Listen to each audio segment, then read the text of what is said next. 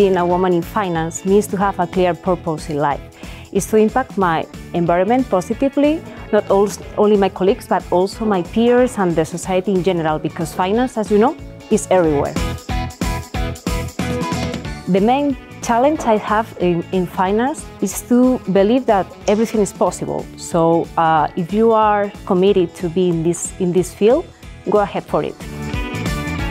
For women who want to join financial sector, I would say be brave. This is a sector where there is plenty of opportunities and where you can be one of the best professionals that you can ever imagine.